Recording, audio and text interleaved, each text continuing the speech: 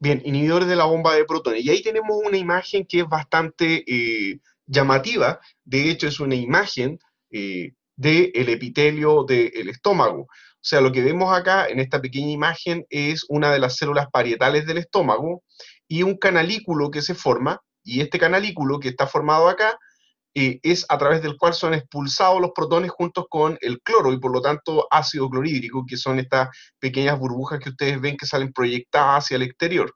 Entonces, esa es más o menos la interfaz célula parietal, todo esto que vemos acá, todo esto rosado, este es un corte a el canalículo que tiene la célula parietal y a este canalículo eh, digamos, miran de alguna forma todas las bombas de protones, que podrían ser estas microvillosidades que ustedes ven acá, todas las bombas de protones miran hacia este canalículo expulsando estas pequeñas burbujas que serían los protones y los cloros a través del canal de cloro y eso sale expulsado hacia afuera como ácido clorhídrico. Bien, entonces, en primer lugar, para que vayamos entendiendo este tema, a pesar de que algo de esto ya hablamos cuando vimos toda la semana pasada el desarrollo de los eh, antihistamínicos H2. ¿Qué es la bomba de protones y por qué es una útil estrategia inhibirla en el tratamiento de la úlcera péptica? Desde el punto de vista estructural es una proteína y vamos a maximizar la imagen. Es una proteína transportadora dependiente de ATP. Significa que esta proteína, para su funcionamiento, utiliza ATP gasta energía.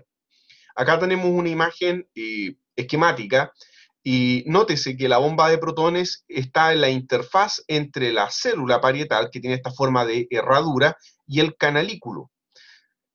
Eh, sin embargo, tenemos que tener presente de que esto no significa de que solamente hay una única bomba de protones mirando al canalículo, no, hay muchas. Esto es una ilustración pedagógica para entender que la bomba de protones mira hacia el canalículo y expulsa hacia afuera protones. Y fíjense que la expulsión de un protón, la expulsión de un protón requiere la entrada de un átomo de potasio. ¿Ok? Entonces, ¿qué significa eso? Significa que es un transporte que no va en contra del gradiente de carga, porque estamos sacando una carga positiva al mismo tiempo que entra otra carga positiva. O sea, la presencia de potasio dentro de eh, eh, el, estómago, por así decirlo, es importante debido a este intercambio que permanentemente está ocurriendo. Por ejemplo, cuando una persona está enferma y vomita, expulsa eh, no solamente ácido, sino también iones, iones como potasio. Por eso que es importante si una persona está con vómito y después se comienza a recuperar, que inmediatamente ingiera alguna bebida rica en eh, sales, como por ejemplo sales de potasio. Bueno, por otra parte, cabe destacar que la bomba, y esto es muy importante que lo tengan claro, no expulsa ácido clorhídrico de manera directa, sino que lo que expulsa es un protón, el cual se une a un átomo de cloruro gracias a un canal de cloruro y de esa manera se forma el ácido clorhídrico propiamente tal, el cual no es un compuesto iónico, sino que es una molécula con un enlace covalente. Ustedes saben eso, el ácido clorhídrico, mucho cuidado, no es un compuesto iónico, es una molécula covalente. ¿Cómo está regulada la actividad de esta bomba? ¿Cómo se activa o se sobreactiva la actividad de la bomba de protones? Bueno, por efecto de la histamina, ya lo mencionábamos la clase pasada, la histamina activa los receptores H2, lo cual incrementa el AMP cíclico intracelular, debido a que este es un receptor acoplado a proteína G y este AMP cíclico, por toda una cascada de señalizaciones intracelulares, termina activando a la bomba. También los receptores muscarínicos de tipo M3. La acetilcolina activa los receptores M3 y esos también activan por toda una vía de señalización intramolecular a la bomba. Y finalmente la gastrina también, recuerden que la gastrina es una hormona de tipo peptídica, activa los receptores conocidos como CCK2, los cuales también activan a la bomba de protones. Por lo tanto, ¿cuál es la relevancia de esto? La relevancia es que estas tres vías convergen en la bomba de protones. Por lo tanto, concluimos que necesariamente la mejor estrategia para suprimir el exceso de secreción gástrica es la inhibición de la bomba de protones. de hecho es la mejor estrategia. Porque si solamente inhibimos el receptor de histamina H2, quedan activas estas otras dos vías que también estimulan a la bomba. O bien tendríamos que darle al paciente una triterapia combinada de un antihistamínico H2, un anticolinérgico M3 selectivo, lo cual es muy difícil de conseguir, y un inhibidor del receptor CCK2 al mismo tiempo. Es mucho más lógico y sensato bloquear directamente la bomba. Bueno, el bloqueo de la bomba no ocurre a través del lumen. El bloqueo de la bomba ocurre por eh, la irrigación sanguínea que llega al estómago o sea, los fármacos inhibidores, viajan a través del torrente sanguíneo y ahí llegan a la célula parietal, no llegan directamente a través del estómago.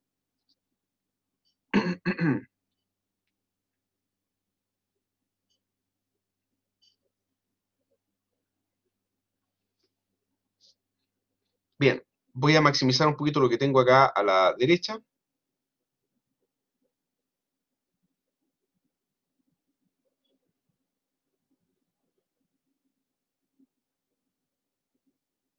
Bien, cabe eh, señalar, cabe señalar que hoy en día se está estudiando bastante el tema del estrés oxidativo, es algo que está de moda desde hace un buen tiempo ya, por todo lo que tiene que ver con el envejecimiento celular. Sin embargo, el estrés oxidativo es importante, por ejemplo, en los glóbulos blancos y en todas las células del sistema eh, inmunitario, para la destrucción de, bacterias. Acá tenemos eh, un, fagocito, un, digámoslo así, un, macrófago, ¿ok? Que ha ingerido una bacteria, como ustedes pueden ver. Esto es una representación esquemática, por supuesto, y aquí en el centro eh, vemos que la bacteria comienza a ser destruida dentro del macrófago gracias al estrés oxidativo. En otras palabras, el estrés oxidativo que eh, puede generar peróxido de hidrógeno y a través de la descomposición generar eh, radicales peroxilo, generar ácido perclórico, hipoclórico, perdón, en este caso, el estrés oxidativo destruye de esa manera la bacteria, porque tanto el radical hidroxilo como el ácido eh, hipocloroso son tremendamente eh, destructivos, dañinos. Otra manera que tiene el, el sistema inmunológico para destruir las bacterias, aparte de generar este radical y este ácido, es a través del flujo de protones hacia la bacteria. En otras palabras, los macrófagos también tienen una bomba de protones, pero fíjense que aquí el, flujo es al revés. El flujo va desde afuera hacia adentro y eso va y destruye la bacteria. ¿Ok? Entonces, se está estudiando el rol que ejercen los inhibidores de la bomba de protones eh, suprimiendo estos procesos, lo cual no sería nada de bueno. ¿Por qué? Porque si ustedes permanentemente están consumiendo un inhibidor como el omeprazol, van a estar impidiendo el funcionamiento normal de células del sistema inmunológico que requieren eh, estrés oxidativo para destruir bacterias, porque no solamente el daño lo generan los protones de manera directa, sino que también estos protones permiten la conversión de eh, anión superóxido en peróxido de hidrógeno para que a su vez este dismute y genera el daño celular. Así que mucho cuidado, ténganlo en consideración. No es un fármaco completamente inocuo. Bien, un segundo para proyectar el resto.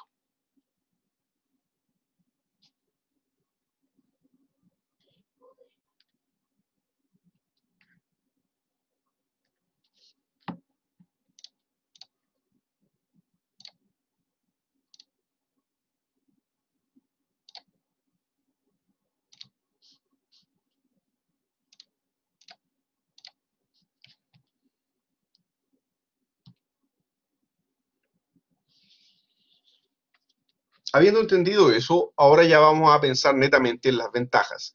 Eh, no estaba hablando, ya si alguien tiene una pregunta puede elevarla a través de canal de chat, ¿ok? Estaba configurando un poco la pantalla, así que eh, cualquier duda, por favor, elévenla, ¿ya? Dice ahí, ¿cuánto tiempo se recomienda para eh, tomar omeprazol? La idea es que se tome solamente por el periodo necesario para la, la, erradicación del Helicobacter pylori, la principal aplicación de los inhibidores de eh, bomba de protones es reducir la acidez gástrica producida por Helicobacter pylori. Y eso dura, por lo general, eh, la erradicación del bacterio dura por lo general un mes. Entonces, idealmente no se debería consumir por más de un mes. Personas que recurrentemente están tomando, significa que tienen otro problema. Tienen que hacerse algún tratamiento especial. Por ejemplo, eh, si consumen alcohol, dejar el alcohol. El alcohol es irritante y el alcohol puede producir úlceras. Recuerden que era un factor de riesgo.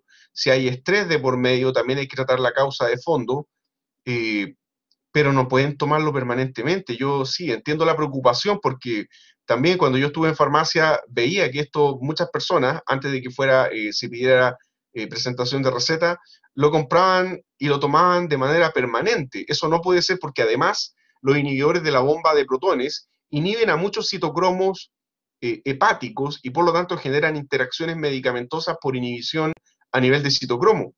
Así que mi recomendación es que si una persona está eh, por algún cuadro de estrés, padeciendo alguna úlcera, eh, estandarizarlo un mes, no debería tomarse por más de un mes. Y nótese que en términos generales, casi siempre la, la toma de este tipo de fármacos es uno al día. En situaciones muy extrañas, muy raras, se recomienda dos al día. Por lo general es uno al día. Con uno al día basta. ¿Por qué? Porque cuando se inhibe a la bomba de protones, se forma un enlace covalente. Ya lo voy a explicar. ¿Entre quién? Entre el fármaco y la bomba. Entre una cisteína de la bomba y el fármaco. Y por lo tanto, la bomba, pregunta, si se forma un enlace covalente la bomba va a quedar inhibida de manera temporal o de manera definitiva, irreversible. ¿Qué creen ustedes? ¿Cómo va a ser la inhibición si se forma un enlace covalente entre el inhibidor y el fármaco? Perfecto, la inhibición es irreversible, en otras palabras, la bomba queda completamente inutilizada. Esa bomba ya no sirve la célula parietal la reabsorbe, la degrada y biosintetiza una nueva bomba de protones y la vuelve a expresar. Todo ese proceso va a tomar tiempo, no es instantáneo. En cambio, cuando ustedes dan un antagonista H2, el efecto es mucho más breve, porque solamente están bloqueando de manera no covalente, por antagonismo, el receptor H2. Pero en cambio aquí estamos inutilizando, destruyendo de manera indirecta la bomba y por lo tanto la célula tiene que tomarse el tiempo para de nuevo sintetizar y expresar nuevas bombas de protones. Por lo, tanto, basta con uno al día para conseguir el efecto inhibitorio completo de la bomba, de todas las bombas de protones. No se toma ni cada 8 horas, ni cada 12, a veces en situaciones muy particulares, como les digo, en, en cuadros de acidez muy, muy intensa, eh, o una úlcera muy, muy eh, agresiva, se podría recetar dos veces al día, pero no es lo común, no debería ser, sino que lo más normal es una vez al día. Bien, entonces, volviendo acá al tema, la inhibición, la ventaja, lo que acabo de mencionar, la inhibición es irreversible, o sea, se tiene que resintetizar, la PP eh, es la abreviatura de la bomba de protones por sus siglas en inglés, se tiene que resintetizar la bomba de protones. La farmacocinética también es muy buena porque estos fármacos son todos activos por vía oral. Muy bien. Además, permiten tratar úlceras por AINES, ¿ok? Y eso es lo que vamos a ver ahora el, el segundo módulo hoy día, vamos a ver AINES. Y tercer lugar, permiten tratar las famosas úlceras por Helicobacter pylori, pero tratando al paciente con antibacteriano. Bien, eh, tengan en consideración lo siguiente, ya eh, respecto a la, úlcera propiamente tal. La úlcera sin duda alguna va a producir una intensa secreción, eh, perdón, una intensa erosión del tejido gástrico, lo cual puede cicatrizar de manera espontánea o terapéutica, pero si no cicatriza, el problema es que ese ácido va a destruir el epitelio y se puede formar un tumor. Es un factor de riesgo para cáncer. ¿Ok? Así que mucho, mucho cuidado. ¿Ok? Eh, no olviden, no olviden que los AINES, los AINES, por sí mismo, eh, sí, voy a repetir, dije que eh, la úlcera, la formación de una úlcera puede ser un factor de riesgo para el desarrollo de cáncer. Denme un segundo para configurar.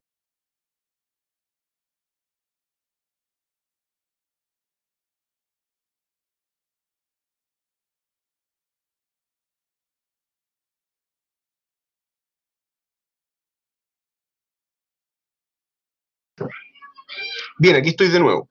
Entonces les estaba diciendo que eh, la, eh, la úlcera puede desencadenar un cáncer. Así que mucho cuidado ya si tienen algún familiar.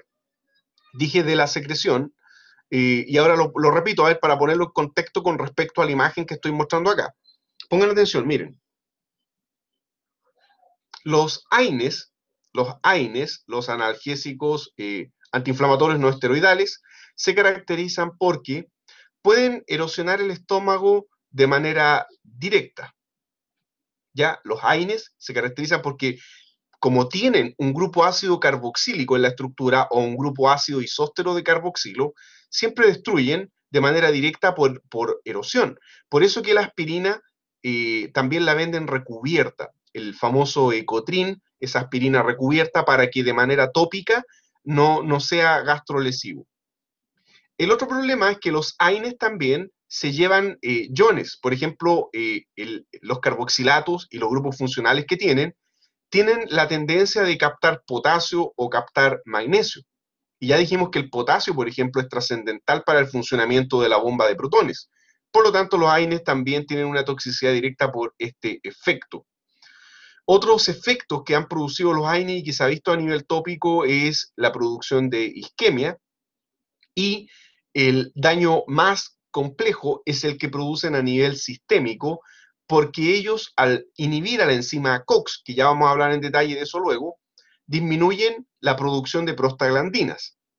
Y las prostaglandinas, algunas de ellas tienen efecto protector del estómago. Las prostaglandinas estimulan la formación de, de secreción eh, de mucosa en el estómago, protegen el estómago y por lo tanto si no hay de esas prostaglandinas, vamos a tener un incremento en la secreción de ácido, una disminución de la secreción de mucina, que es eh, la sustancia eh, proteica que recubre el estómago y lo protege del mismo ácido, se suprime la cantidad de bicarbonato superficial que se secreta para proteger a la célula parietal, etc. Entonces, el problema o el daño sistémico es el daño más grave que producen los AINES, porque este efecto es más duradero en el tiempo que la irritación tópica o la captación de iones.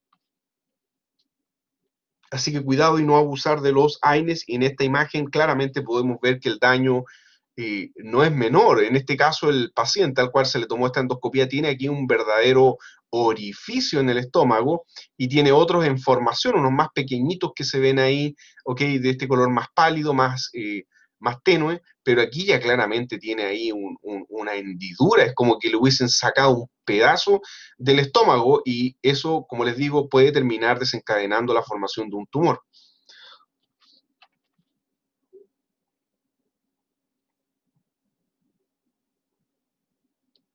La única forma de eh, saber si el paciente tiene una ulceración es haciendo una endoscopía. ¿ya? Y como ustedes pueden ver ahí, al paciente se le pone de lado, se le inserta un, tubo, un cilindro con una cámara que puede revisar por dentro eh, el estómago del paciente. Obviamente esto es, eh, sería muy incómodo hacerlo así, aunque no lo crean, antiguamente se hacía así, pero hoy en día disponemos de esta benzodiazepina, midazolam, que se da muy bien al paciente y además le produce amnesia. Por lo tanto, no va a tener ningún recuerdo de eh, eh, lo incómodo que es realizar este tipo de examen. La endoscopía se tiene que hacer, se tiene que hacer al principio y al final del tratamiento para ver si es que finalmente la úlcera remitió. Eso es muy típico en úlceras producidas por Helicobacter pylori, donde el paciente tiene que ir ya al principio para diagnosticar y después de un mes tiene que volver a hacérsela para ver si la eh, cantidad eh, de, úlcera ha desaparecido y si ya no hay más bacterias. O sea, aparte de que eso va con una cámara, se le toma una muestra del tejido eh, al paciente se hace un test que se llama el test de ureasa, Recuerden que la bacteria tiene la capacidad de, eh, por hidrólisis de la urea, generar amoníaco, y si el test de ureasa da negativo, quiere decir que ya se radicó completamente a la bacteria. Lamentablemente aquí en la población chilena hay una gran tendencia a desarrollar úlceras por Helicobacter pylori por alguna razón, eh, aunque hay, si ustedes se meten a la literatura científica, eh, hay eh, estudios tal vez no muy grandes, no tienen un N muy grande, que muestran que hay ciertos alimentos que eventualmente podrían proteger del desarrollo de Helicobacter pylori. Hay algunos que hablan del efecto protector del de el jengibre, eh, y de otras plantas, etcétera, que podrían ayudar a, de manera profiláctica a impedir el desarrollo de esta bacteria.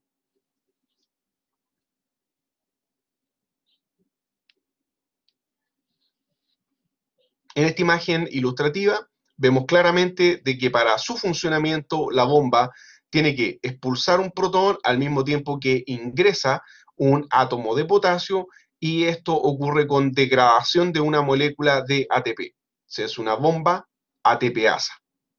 Y el protón se une a un cloruro formándose ácido clorhídrico. El cloruro, ojo, no sale a través de la bomba, ya lo dijimos, el cloruro sale a través del canal de cloruro.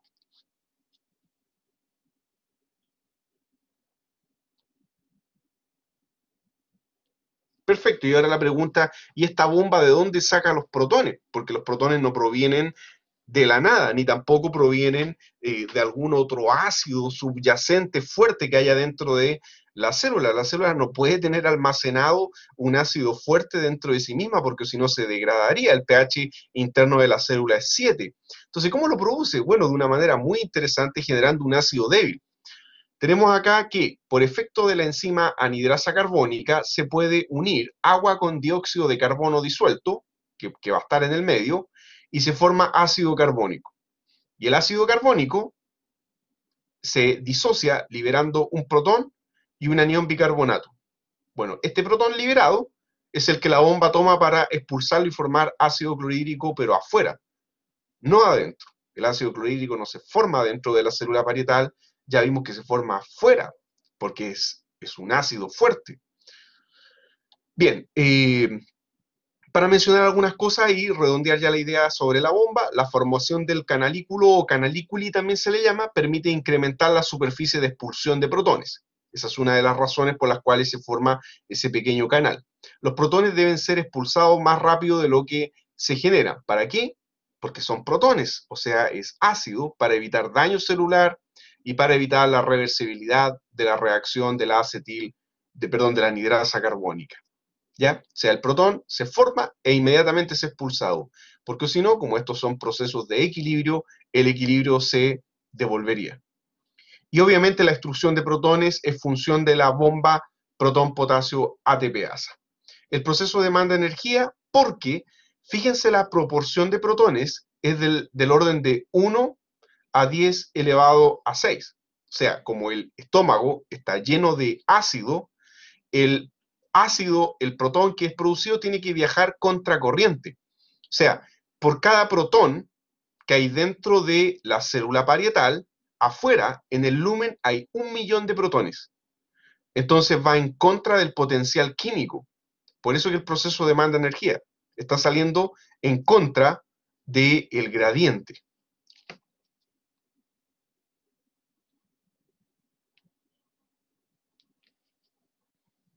Como es una ATPasa, eso implica que tiene que obtener la energía de alguna ruptura de enlace. ¿De cuál enlace? Específicamente de ATP.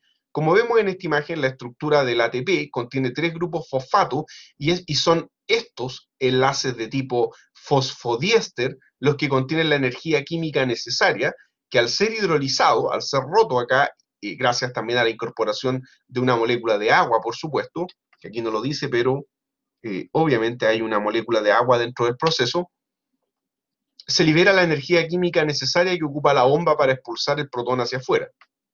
El ácido clorhídrico se forma afuera de la célula parietal por destrucción de cloruro, falta un signo menos ahí, cloruro, a través de un canal de cloruro. El potasio permanece en movimiento cíclico manteniendo la igualdad de cargas. Ya dijimos que el proceso desde el punto de vista de las cargas eh, no hay ya eh, un movimiento en contra de las cargas, sino un movimiento en contra de eh, la población. Hay muchos protones afuera, muy poco adentro y por lo tanto el proceso requiere energía.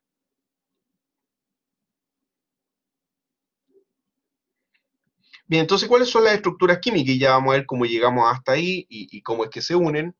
Fíjense en lo siguiente, en todos los casos vamos a tener el heterociclo benzimidazol. En algún momento del pasado, yo les dije que el benzimidazol, estructuralmente hablando, es un heterociclo privilegiado en química medicinal por cuanto forma parte de muchos fármacos. El benzimidazol está en muchas familias terapéuticas muy variadas por cuanto es, un heterociclo versátil químicamente, es un heterociclo bastante inocuo, es de los heterociclos menos tóxicos que hay, por lo tanto muy apetecible para el desarrollo de un fármaco, y además el benzimidazol tiene propiedades ácido-base que nos permiten formar sales, como por ejemplo en el rabeprazol. Bueno, aquí tenemos la estructura del pantoprazol, omeprazol, lansoprazol, rabeprazol. Observen, ahí dice rabeprazol y hay un sodio. Lo voy a marcar ahí, sodio, rabeprazol. ¿Qué significa eso? Que esto está en forma de sal.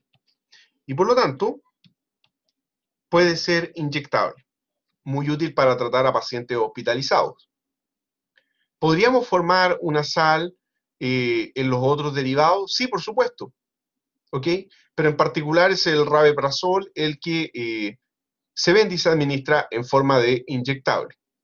¿Qué más tienen en común? Bueno, hay un grupo funcional que es clave para la actividad y si no está dentro de la estructura, aparte del, del benzimidazol, el fármaco no es activo y estamos hablando de el grupo eh, sulfona. Entonces, lo vamos a marcar. Si no está el grupo sulfona, o si es reemplazado por otro grupo, como por ejemplo un carbonilo, se pierde la actividad. Así que mucho cuidado, no hay posibilidad de reemplazo isostérico. ¿Ok? Así que lo repito, no hay posibilidad de reemplazo isostérico. ¿Qué, quiero decir con eso? Que no hay posibilidad de reemplazo isostérico, que si reemplazamos el carbón, el, perdón, el, el, el, grupo sulfona, que aquí se le llama sulfonil porque está formando parte de una estructura mayor, si lo reemplazan por un carbonilo, o, por cualquier otro grupo que se les ocurra, por ejemplo, por una imina, no va a haber actividad biológica. Tiene que ser este, esta estructura de tipo sulfona. Y ya vamos a ver por qué, porque hay un proceso de bioactivación donde se requiere este grupo funcional. Lo otro que tenemos que destacar es la presencia del el heterociclo piridina, que está escrito su nombre aquí a la izquierda, pero con una particularidad. Tiene que ser preferiblemente una piridina enriquecida en electrones. Repito, la piridina tiene que estar enriquecida en electrones, tiene que ser una piridina altamente nucleofílica, no puede ser un anillo electrodeficiente, así que mucho cuidado también, tenemos muy pocas opciones con respecto al tema de la piridina. Por eso, esa sería la explicación a por qué en todos los fármacos hay por lo menos un grupo funcional de tipo éter. Por ejemplo, aquí los metoxis, aquí hay dos metoxis, aquí hay un metoxi y dos grupos metil, aquí también hay un alcoxi y un alcoxi. O sea, hay por lo menos un grupo funcional de qué tipo? Dador electrónico hacia el anillo. Y eso lo podemos destacar.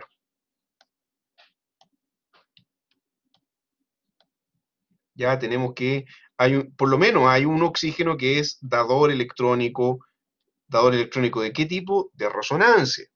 Tenemos por lo menos un átomo de tipo dador electrónico por resonancia hacia el anillo de piridina. No puede ser un anillo electrón deficiente, tiene que ser un anillo enriquecido en electrones. Entonces, todas esas que les acabo de mencionar son las características farmacofóricas necesarias para que el fármaco tenga actividad inhibitoria de la bomba y se una de manera covalente. Hay una cosa más desde el punto de vista estructural que es eh, trascendental. Ya, y eh, yo les voy a hacer la pregunta a ustedes para ver si es que eh, logran verlo dentro de la estructura química. Estos fármacos, desde el punto de vista de la estereoquímica, ¿son o no son quirales? Repito, ¿son o no son quirales? ¿Sí o no? ¿Quiral o no quiral?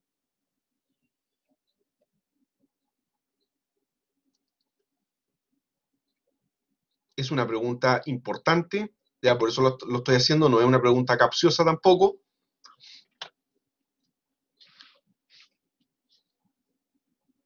Ya, muy bien, gracias. Tengo respuestas de varios acá y lamento decirles que todos se han equivocado, ¿ya? Y los que no contestaron, yo creo que lo están pensando ahí en sus casas y tienen que también haber concordado con el resto de sus compañeros y compañeras que dijeron que eh, no eran quirales. Lamentablemente, eh, aquí cuesta un poco verlo, pero estos fármacos sí son quirales y esa, y esa característica es tremendamente importante para la actividad biológica. ¿Y dónde está la quiralidad? Porque a, primera vista no hay ningún carbono tetraédrico.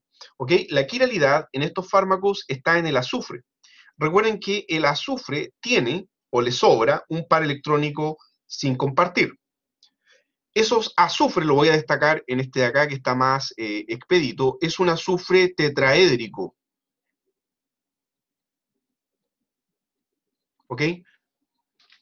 Y como es un azufre tetraédrico, ustedes dirán, bueno, pero ¿dónde están los cuatro sustituyentes? Un sustituyente, por así decirlo, es el par electrónico, después tengo eh, hacia un lado un CH2 con piridina, hacia el otro lado un benzimidazol y para arriba un oxígeno. Como es un azufre tetraédrico, puede ser R o S. Y para la actividad biológica no da lo mismo. Bueno, voy a dejar dibujado el azufre ahí, porque es trascendental, como es un tetraedro, ya lo que uno tiene es esto así, ya hacia atrás. Si ustedes quieren, ahí uno, tiene el cuarto sustituyente, por así decirlo, que sería el, eh, el par electrónico.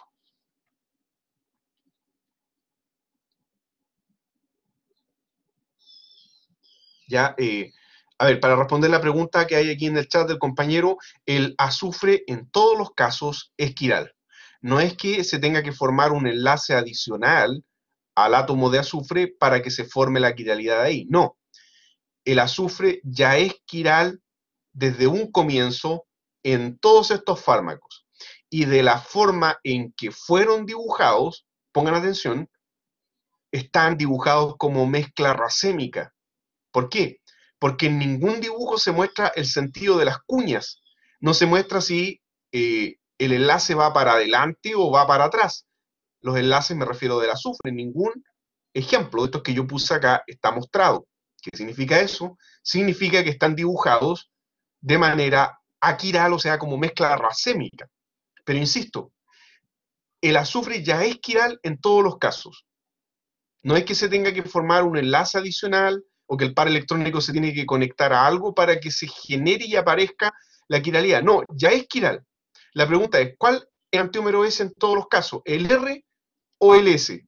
La respuesta es ambos. ¿Por qué? Porque están dibujados sin estereoquímica.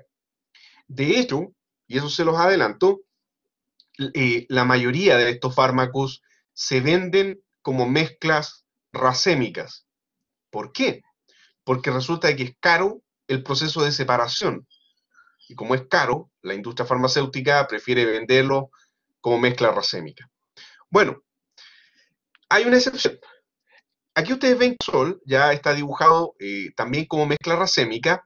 Si ustedes ahora separan los enantiómeros del omeprazol y se quedan solamente con el enantiómero que es más activo, ese fármaco pasa a llamarse esomeprazol,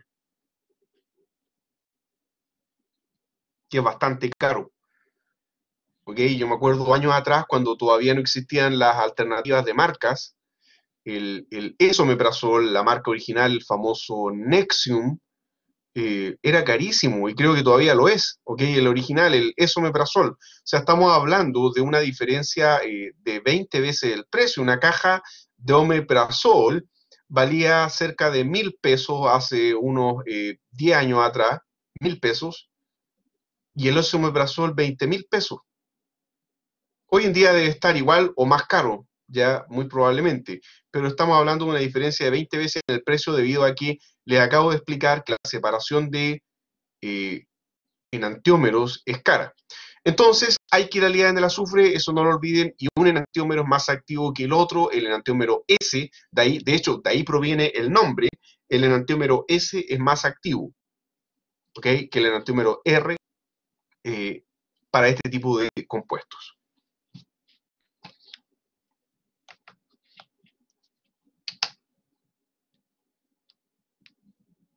Bien, desde el punto de vista molecular, ¿cuál es la principal ventaja de un inhibidor respecto a un antagonista H2, un eh, antagonista muscarínico o de gastrina?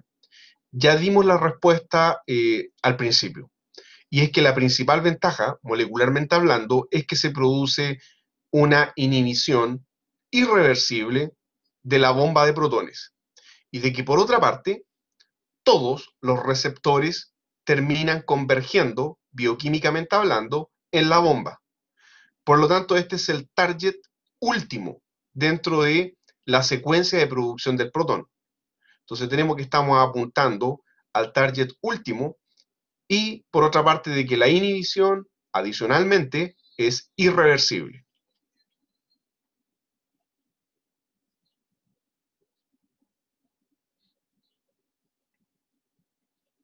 Cabe señalar que químicamente hablando son bases débiles. Ya mostramos que le podíamos sacar un protón al benzimidazol para formar una sal sódica o potásica.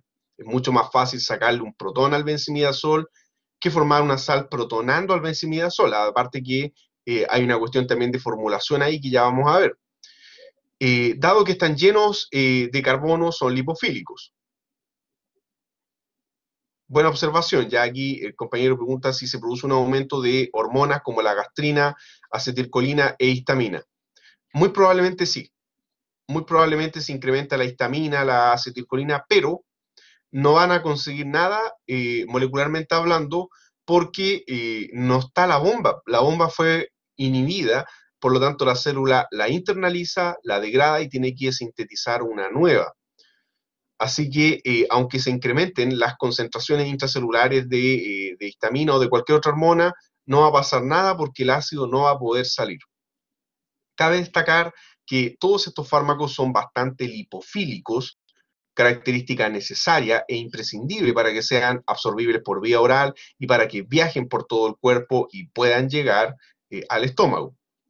Desde el punto de vista de los efectos adversos, afortunadamente tienen muy poco, salvo lo que estábamos mencionando recién, de que se están haciendo estudios eh, que podrían ser contraproducentes para el funcionamiento normal del sistema inmunitario. Eso sí cobraría relevancia en un paciente inmunodeprimido o en una persona que está eh, muy agripada y que al mismo tiempo esté consumiendo un inhibidor no sería bueno porque estaríamos bloqueando el trabajo normal del sistema inmunitario. Así que no, pero respecto a los efectos adversos mediados por gastrina, acetilcolina o histamina, no, no hay grandes reportes de efectos adversos mediados por una sobresecreción de las otras hormonas, afortunadamente. Bien, eh, los eh, inhibidores de la bomba además tienen una particularidad eh, química y es que se acumulan en el canalículo. Recuerden que el canalículo secretor, ¿qué es lo que secreta? Protones. Por lo tanto, el canalículo secretor tiene un pH fuertemente ácido. Y como estos fármacos son bases débiles, se van a acumular en el canalículo porque ahí se van a protonar. Llegan neutros hasta el canalículo y ahí se protonan y por lo tanto en forma iónica ya no se pueden devolver y se van a acumular. Y la tasa es de 1 es a 1000. Hay 1000 moléculas en el canalículo versus una dentro de la célula. La pregunta es, ¿dónde necesitamos el fármaco para que ejerza el efecto? La respuesta es, lo necesitamos en el canalículo secretor. El fármaco actúa desde el canalículo hacia la bomba. Pero ¿cómo llegó al canalículo? No llegó a través del estómago, llegó a través del torrente sanguíneo. Fue absorbido, viajó, llegó al estómago, entró a la célula parietal, salió de la célula parietal y se quedó en el canalículo. Es el viaje que hace. Eh, y por último, cabe destacar que el pH ácido cataliza su transformación a electrófilos fuertes. Y mucho cuidado que ahí dice electrófilos para que no se vayan a equivocar en la prueba. ¿Ok? Cataliza su transformación a electrófilos fuertes. Así que, repito, no se vayan a confundir con esto. Eh, es muy importante porque si no fueran electrófilos fuertes, no se podrían unir covalentemente a la enzima. Y aquí dice que el pH ácido es el que cataliza su transformación. ¿Y dónde hay pH ácido? En el canalículo, porque ahí se secretan los protones. Por lo tanto, desde el punto de vista del mecanismo de acción, estos fármacos son ideales. ¿Por qué? Porque ya estamos llegando a la conclusión de que en la forma química inicial son inactivos. Esa forma química inicial, lipofílica, de tipo base débil, les permite ser absorbidos, viajar y llegar al canalículo. Y ahí, gracias al fuerte pH ácido, se transforman en electrófilos fuertes y se unen a la bomba de protones. ¿Y se unen de qué manera? Como dice acá, irreversible. Y eso es lo que quiero ilustrar con la siguiente imagen, así que eh, pongan atención ya porque eh, desde el punto de vista de lo que ocurre acá, no es tan trivial poder eh, digámoslo así, deducir el mecanismo de activación. No es fácil. Ya, la química del azufre por lo general genera este tipo de reordenamientos complejos. ¿Por qué? Eh, básicamente por dos formas, porque el azufre desde el punto de vista general es mucho más voluminoso que el carbono y porque tiene una valencia expandida. Eh, sí, están haciendo una pregunta aquí en el chat. estamos diciendo que el fármaco en su forma inicial, por ejemplo, pongan atención aquí a la izquierda, donde estoy marcando con el cursor, este sería el fármaco en su forma inicial. De hecho, este que está acá creo que es el omeprazol. Bueno, voy a eh, maximizarlo. A ver, fijémonos en la parte primero para que eh, no se confundan. Este que está acá es inactivo, así tal cual. Tal cual como está, todavía no es un electrófilo fuerte, todavía no puede bloquear a la bomba, pero cuando llega al canalículo, ¿qué es lo primero que hace? Capta un protón. ¿Quién capta el protón? Lo capta el benzimidazol. ¿Por qué el benzimidazol capta el protón si dijimos que era una base débil? Porque el canalículo está tremendamente ácido. Y como está tremendamente ácido, se protona por la razón o la fuerza, ya como dice el lema de Chile. Ahora, ustedes podrían preguntarse también, bueno, ¿y la piridina no se puede protonar? Sí, también puede protonarse, pero es parte de los equilibrios que experimenta el fármaco. ¿Ok? Cuando se protona la piridina, el fármaco eh, queda protonado la piridina, pero no puede seguir adelante en su proceso de biotransformación. Cuando libera el protón y se protona en el benzimidazol, ocurre lo que vemos a continuación. ¿Qué cosa? Protonándose el benzimidazol, el carbono 2, si es que numeramos esto eh, correctamente, denme un segundo para marcar la numeración, este sería la posición 1 del heterociclo, posición 2, nitrógeno 3. Cuando se protona, el carbono 2 se vuelve tremendamente electrofílico. ¿Por qué? Porque el carbono 2 está unido a dos átomos electronegativos, nitrógeno, nitrógeno, eh, y adicionalmente con carga positiva ahora sobre el nitrógeno. O sea, el efecto electroatractor sobre el carbono 2 se intensifica y además está unido a un centro electronegativo como lo es la sulfona, o sea, tiene tres centros electroatractores y eso hace que la densidad de carga sobre el carbono 2 se dispare, se vuelve tremendamente positivo. A ver, voy a dibujarlo un poco mejor. El carbono 2 se vuelve muy positivo, ¿ok? El 2 se vuelve tan positivo que experimenta o recibe de buen agrado el ataque nucleofílico del nitrógeno de la piridina. ¿Por qué puede ciclar la piridina? Bueno, hay unas reglas de la química heterocíclica que se llaman las reglas de Baldwin para poder predecir ciclaciones intramoleculares y en este caso tenemos una cercanía tal que permite la formación de una estructura de tipo espiro ciclada de cinco átomos y eso es favorable. ¿Ok? desde el punto de vista de la geometría angular, esto es favorable, se puede formar. Desde el punto de vista de la entropía, también es favorable porque el nitrógeno piridínico está cerca. Entonces se produce el ataque nucleofílico, como pueden ver, y formamos un intermediario tetraédrico bicíclico con una unión de tipo espiro. Ya, la carga positiva, al unirse el nitrógeno piridínico al carbono 2, reside ahora sobre el nitrógeno piridínico. A continuación, dado que el heterociclo benzimidazol, en esta forma intermediaria, que de hecho aquí abajo dice espiro intermediario, el benzimidazol no va a perder la aromaticidad.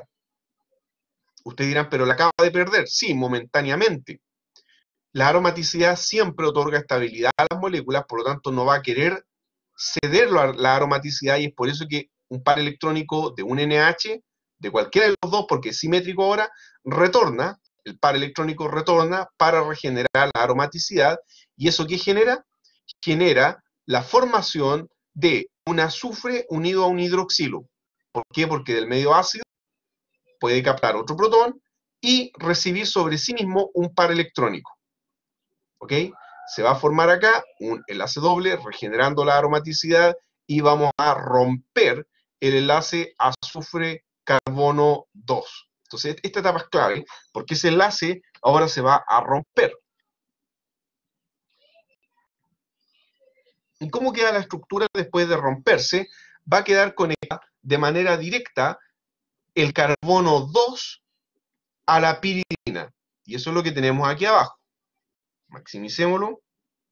O sea, tenemos que ahora el benzimidazol quedó conectado de manera directa a un piridonio.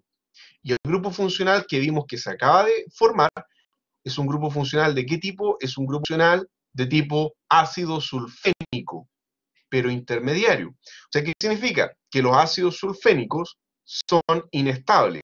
Esta agrupación SOH es inestable. Como hay medio ácido todavía, el hidroxilo puede captar un protón para formar una molécula de agua intramolecular. Desde el punto de vista energético, las moléculas de agua son tremendamente estables y son los mejores grupos abandonantes de la química orgánica, por lo tanto, el azufre puede experimentar un ataque nucleofílico del benzimidazol y liberar la molécula de agua. Ahora, ¿de cuánto quedaría el ciclo? Si que ustedes cuentan desde el nitrógeno sería 1, 2, 3, 4, 5, 6. Se forma un ciclo favorable. Los ciclos de 5 y los de 6 son siempre los más favorables. Y más encima, como hay pérdida de agua, la ciclación está más favorecida todavía desde el punto de vista energético. Y finalmente entonces formamos una estructura de tipo eh, piridinio sulfenamina. Entonces lo que tenemos acá es un piridinio, porque tiene carga negativa, positiva perdón, sobre el nitrógeno, sulfenamida, porque es un azufre unido a nitrógeno, eso se llama sulfenamida. Y esta estructura, tal como la estamos mostrando acá, es una estructura que tiene una neta positiva intramolecular, por lo tanto, este que está acá es el electrófilo fuerte.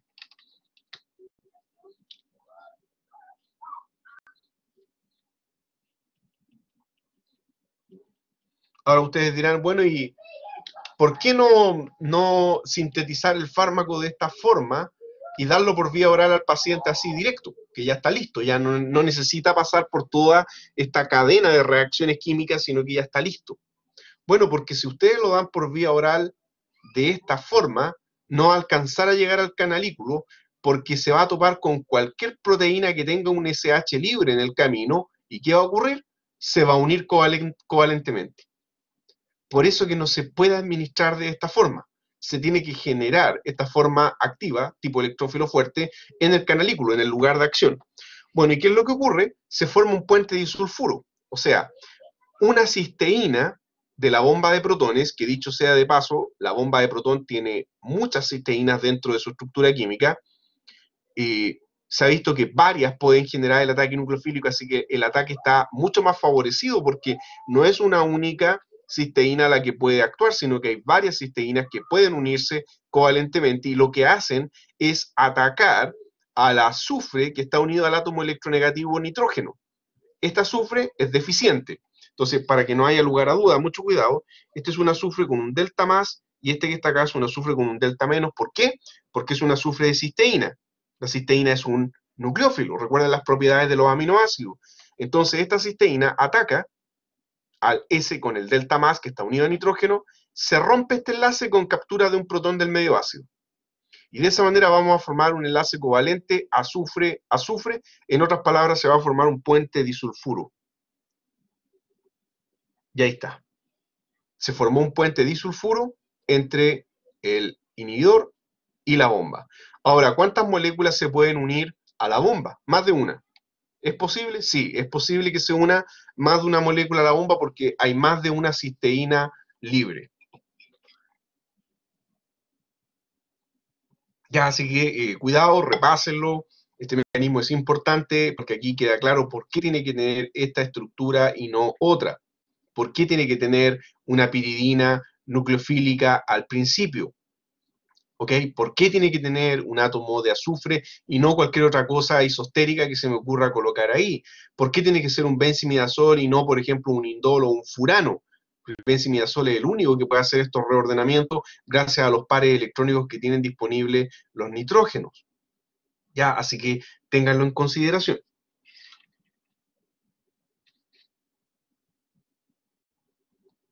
Acá está la estructura química desarrollada para que todos la recuerden bien de una cisteína. Eso que está, que está dibujado ahí es el famoso aminoácido cisteína. Cis, ¿ok?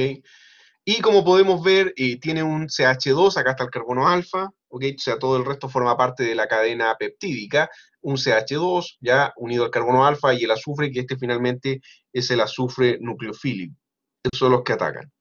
Se sabe que hay por lo menos eh, de 3 eh, a 4 tipos de cisteínas disponibles y están numeradas dependiendo la posición dentro de la cadena peptídica.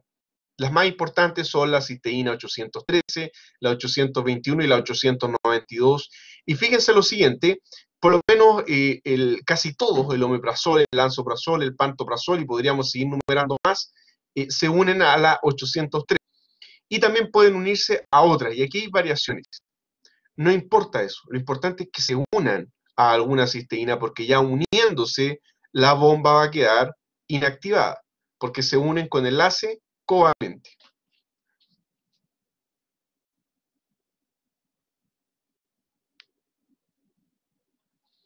Bien, efectos adversos, y aquí podemos volver a este tema, ya eh, habían varias dudas delante sobre el tema de los efectos adversos.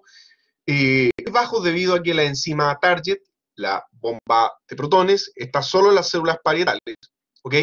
Excepto lo que les mencioné delante de eh, los estudios que se están haciendo en los macrófagos. Tal vez de aquí a un tiempo más tengamos más información eh, para presentarles de ese tema. Segundo, el canalículo es el único compartimento en el ser humano, aunque sea eh, de tipo celular, ¿ok? Pero un compartimento en sí, que posee un pH entre 1 y 2, o sea, el pH más ácido, sí, el estómago, pero ahora si vamos al grano de cuál, cuál cultura propiamente tal más ácida en el cuerpo humano, el canalículo secretor propiamente tal. Por lo tanto, el fármaco se concentra en dicho canalículo debido a su protonación en el canalículo. Ahora, nótese, eh, aquí no lo dice, que todos estos fármacos vienen con recubrimiento. Así que también ahí hay un rol importante advirtiendo a la gente que consume esto, eh, decirles que no pueden masticar el fármaco, que no lo pueden moler o que no pueden tomarse la mitad ahora en la mañana y la otra mitad en la tarde porque si hacen eso están destruyendo el recubrimiento y le va a entrar ácido, y el ácido, ¿qué va a hacer? Toda la transformación que acabamos de ver. Se va a formar eh, la sulfenamida electrofílica, eh, pero no en el canalículo, sino en el lumen del estómago, que está más afuera, por así decirlo, y el fármaco no va a alcanzar a llegar inalterado por el torrente sanguíneo. Ya, así que tienen que eh, tragarlo entero porque tiene un recubrimiento entérico. La droga se activa rápidamente cerca del target en el canalículo y reacciona con este. Y claramente va a ser inactiva a pH neutro porque a pH neutro no hay protones suficientes para que se bioactive. Algunos efectos adversos, los típicos ya que casi todos los fármacos tienen, como las náuseas, cefalea, o sea, cuestiones muy, eh, muy vagas ya, eh, náuseas, cefalea, diarrea, estitiquez, flatulencia, el ras cutáneo se presenta escasamente. Sí, hay algunos eh, pacientes que han presentado estos síntomas leves y pasajeros, a menudo transitorios, porque como es un fármaco con azufre dentro de la estructura, recuerden que eh, los azufres pueden generar este tipo de alergias, por decirlo de alguna forma. También ocurre a veces en los fármacos yodados. No olviden eso que a veces ocurren en los fármacos azufrados y los fármacos yodados que tienden a generar reacciones eh, alérgicas o también los fármacos de estructura peptídica, pero este no es el caso.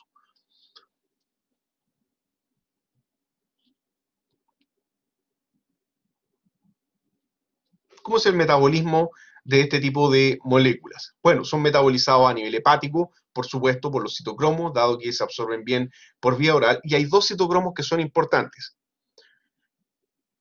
El primero es el citocromo 2C19, también llamado SM-fentoína hidroxilasa, y el citocromo 3A4, llamado también nifedipina hidroxilasa.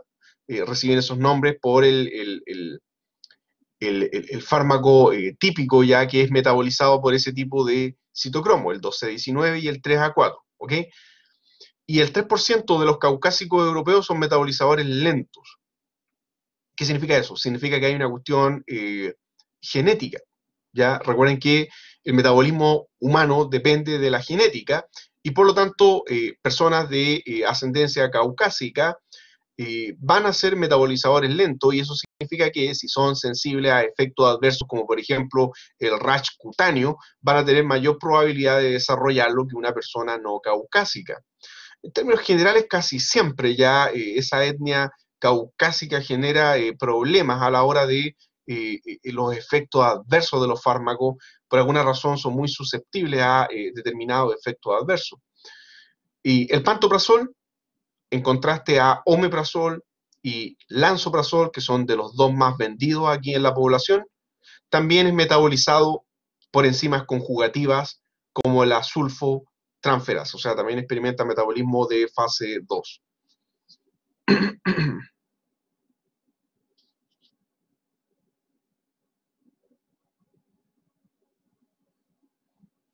Bueno, ahí no lo decía, pero evidentemente no se pueden consumir con alcohol. El alcohol debe evitarse con el consumo concomitante de estos fármacos debido a la inducción hepática propia que genera el alcohol y porque además el alcohol por sí mismo es ulcerogénico.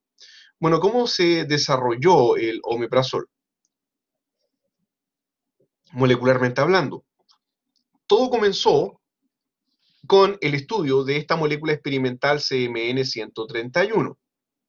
En un comienzo, este fármaco estaba siendo estudiado precisamente por su eventual capacidad inhibitoria, inhibitoria perdón, de la secreción estomacal ácida. Tenía un efecto débil y comenzaron a mejorarlo progresivamente. Y una de las mejoras que se le hizo fue la supresión del grupo eh, sulfonamídico por un imidazol. O sea, esto que tenemos acá es un imidazol. ¿Y cuál es la particularidad? Que ahora este grupo contiene mayor eh, cantidad de átomos de carbono y por lo tanto este nuevo prototipo es más lipofílico.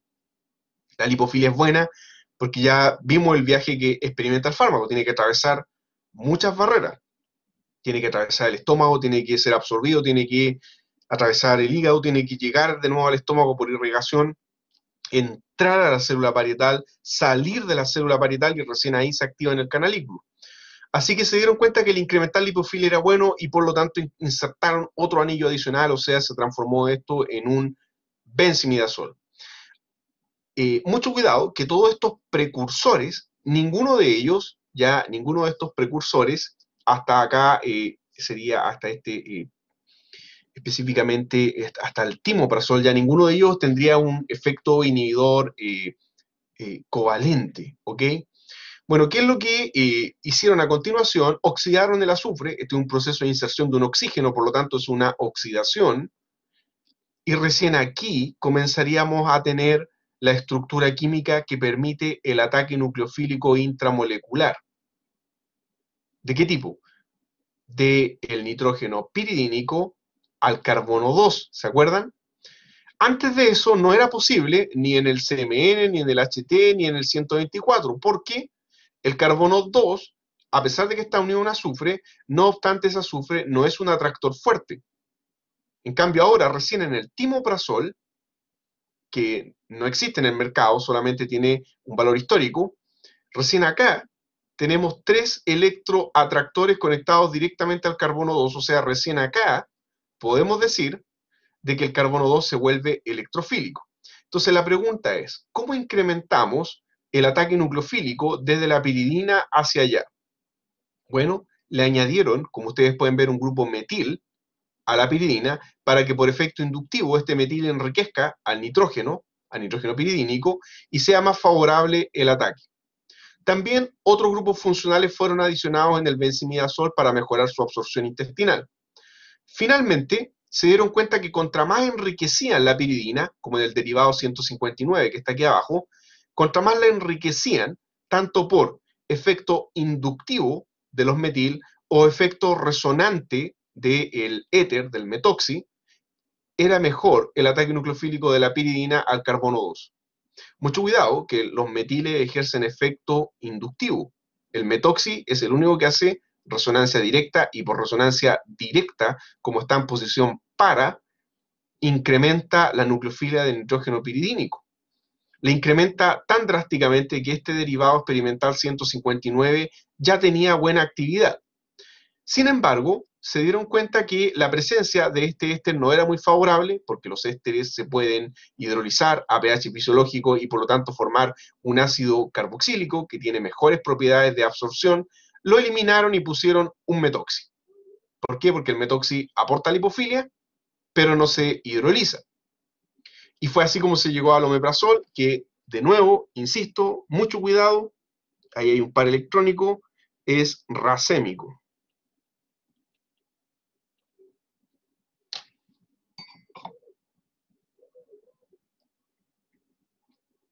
es racémico.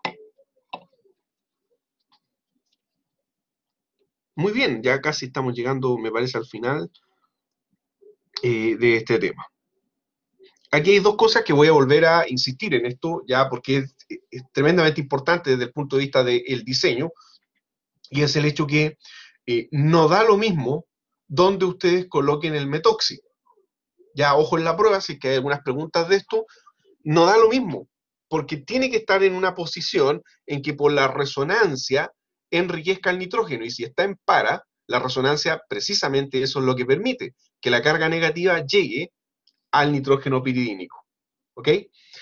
Eh, si ustedes lo colocan en posición meta, como tenemos aquí abajo en la figura eh, inferior, la resonancia, si bien es cierto, enriquece al anillo, no obstante, el delta menos no cae justo en el nitrógeno, queda al lado del nitrógeno. Acá, adyacente o a la derecha. No quedó nunca encima del nitrógeno. Ahora ustedes dirán, bueno, pero eh, ¿no va a ser activo? Probablemente sí sea activo, pero mucho menos potente, porque no va a tener directamente enriquecido el nitrógeno y por lo tanto no va a poder atacar intramolecularmente al carbono 2 del benzimidazol con la misma facilidad que lo hace cuando el metoxi está en para. Entonces, si a ustedes se les preguntara qué grupos funcionales podrían ustedes añadir eh, acá para eh, generar un buen inhibidor, cualquier grupo electrodador en posición para por resonancia, ¿ok? Pero no en posición meta. Ahora, tal vez alguien eh, se está preguntando, bueno, ¿y por qué no en posición orto? Porque ahí estaría directa la resonancia. Sí, pero hay un problema. Si ustedes insertan el grupo funcional, por ejemplo, este mismo metoxi, si ustedes lo insertan en orto, el problema es que, por una parte, claro, van a enriquecer el nitrógeno, pero eso va a generar un fuerte impedimento estérico para el ataque nucleofílico. Por eso que eh, prácticamente eh, nunca van a un, un derivado con algo ahí, porque eso enriquece al nitrógeno, pero al mismo tiempo genera un obstáculo, es como colocar ahí un paraguas, algo que tapa que impide el correcto ataque nucleofílico del nitrógeno hacia el carbono 2 electrofílico del benzimidazol. Bueno, y el grupo y el rol de los metil, efecto inductivo. Y no solo eso, sino que además incrementan la lipofilia de las moléculas.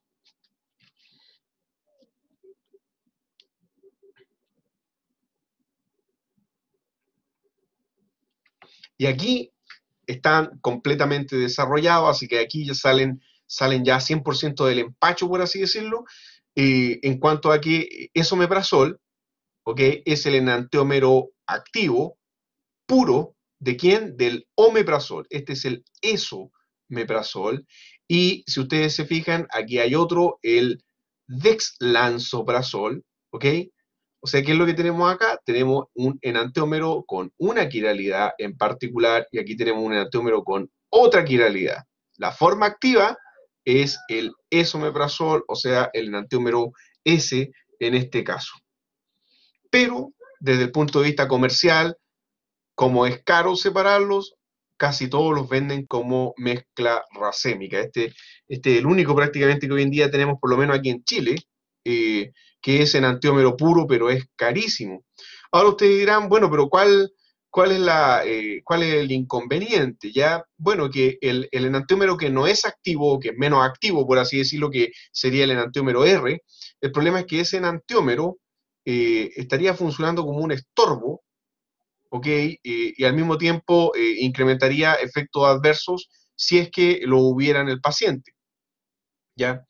Ahora, desde el punto de vista de, eh, lo que hemos visto eh, en los años de, de, administración y venta de este medicamento en la población chilena, es que ya el omeprazol es muy bueno por sí mismo.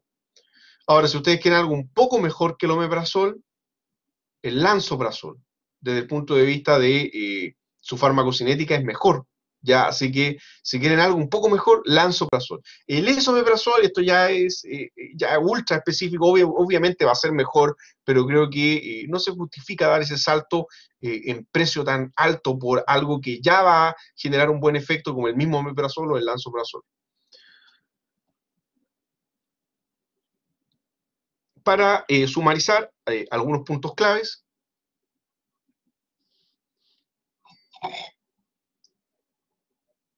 la eh, bomba de protones es responsable del bombeo de protones hacia afuera de la célula parietal eh, con eh, intercambio por iones de potasio, los cuales son bombeados hacia adentro. Sale un protón y entra un potasio. El, proceso requiere el movimiento de protones contra el gradiente de concentración. Recuerden que era de 1 es a 1 millón lo cual requiere energía proveída por la hidrólisis de ATP. En segundo lugar, eh, la bomba de protones eh, previene el bombeo de protones. Eh, ah, perdón, los inhibidores, ya PPIs, los inhibidores de la bomba previenen el funcionamiento, claro, porque al unirse covalentemente inactivan a la bomba, ¿ok? Ofrecen una ventaja estratégica sobre los antagonistas H2 debido a que ellos actúan en la etapa final de la liberación de ácido. O sea, ya lo dijimos desde el punto de vista de la farmacodinamia, son la mejor alternativa existente. Tercero, formalmente tenemos que clasificarlos como profármacos. ¿Por qué? Porque son activados en las condiciones ácidas del canalículo de las células parietales. Sufren un reordenamiento ácido catalizado para formar una sulfenamida piridinio tetracíclica reactiva, o sea, el electrófilo fuerte, el cual actúa como el inhibidor reversible. La reacción toma lugar eh, con residuos de cisteína accesibles en la bomba de protones para formar un enlace disúlfido, o sea, un puente disulfuro, en otras palabras, entre la cisteína y el fármaco.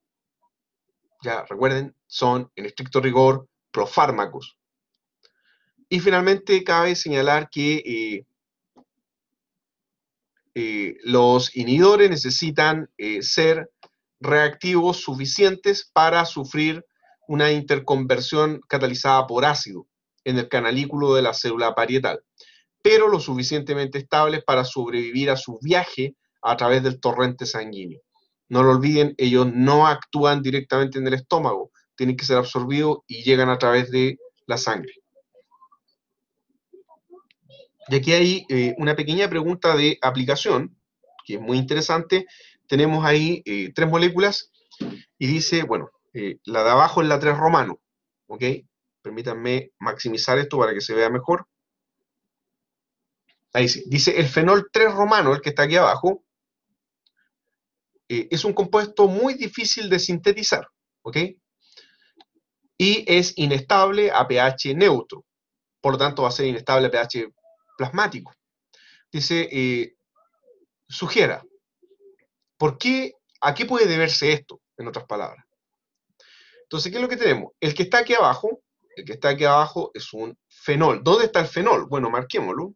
ya, primero entender lo que nos están preguntando, ya, es el fenol, ya el, el, fenol entre comillas, porque no es un benceno, pues es una piridina con un hidroxilo. Ustedes dirán, ¿y qué tiene de malo para eh, el mecanismo de acción? Desde el punto del mecanismo, aparentemente no hay nada de malo, porque este hidroxilo, ¿qué es lo que es? Un dador electrónico por resonancia. ¿Y dónde está? En posición para al nitrógeno piridínico. Por lo tanto, no hay nada que decir desde el punto de vista de la resonancia y la activación por enriquecimiento electrónico del nitrógeno piridínico. El problema aquí se está diciendo que es muy difícil de sintetizar este fenol y que además es inestable a pH 7, ¿ok? A pH neutro. Es muy difícil de sintetizar y además es inestable, a diferencia de los otros congéneres que en vez de tener fenol tienen ahí un metoxi, ¿ya? sugiera por qué esto puede ser el caso, porque a pH 7 este compuesto eh, puede terminar transformándose en algo inestable, ¿ok? El compuesto 3. Entonces ahí ustedes tienen que recordar un poquitito las propiedades ácido-base de las moléculas y hacerse la siguiente pregunta. ¿Qué efecto tiene a su vez la piridina sobre el fenol? ¿Ok? Porque todo este tiempo hicimos el análisis de lo que le conectamos acá, qué efecto tiene en la piridina. Ahora, al revés, ¿qué efecto tiene la piridina sobre el fenol. ¿Ok? La, piridina, el nitrógeno, que es lo que es un electronegativo, un átomo electronegativo.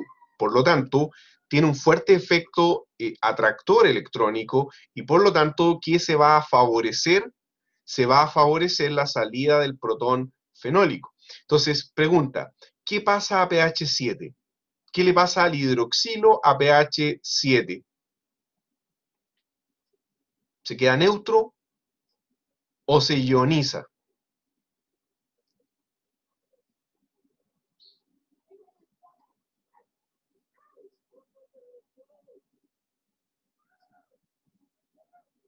Bueno, tenían que recordar un poco, ya me extraña que no, no, no, no logren seguir el análisis, ya eh, se va a ionizar porque va a perder el protón.